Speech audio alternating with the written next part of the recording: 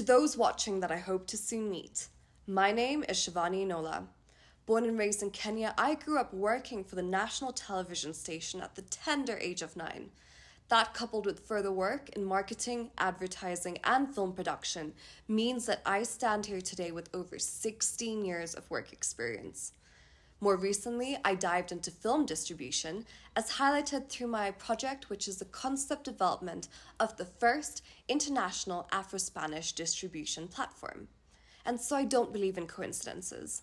I believe that moving pictures has come to my attention as an avenue to learn, to serve, and as a young but powerful professional, create a positive social impact.